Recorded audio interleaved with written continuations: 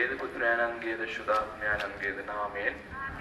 අප ස්වාමීන් වහන්සේ ජේසුස් ක්‍රිස්තුස් වහන්සේගේ වර ප්‍රසාදය දිව්‍ය පියාණන්ගේ ප්‍රේමයෙන් ශුද්ධාත්මයන්ගේ ජීවදානයත් ඔබ සියල්ලන් සමග පවතිවා.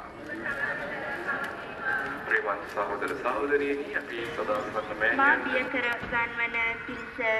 තටු ගැසීමක්වත් හොට ඇරීමක්වත් කෑ ගැසීමක්වත් නො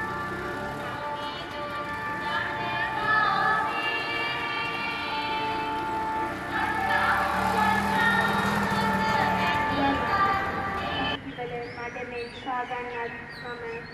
අසිරියාව එවනි එහෙත් අසිරියාවේ රජයේ වෙනම සාහසික අදහසක් ඇත බොහෝ ජාතීන් විනාශ කිරීමට ඔහු අධිෂ්ඨාන කර ඇත ඔහු මුලින්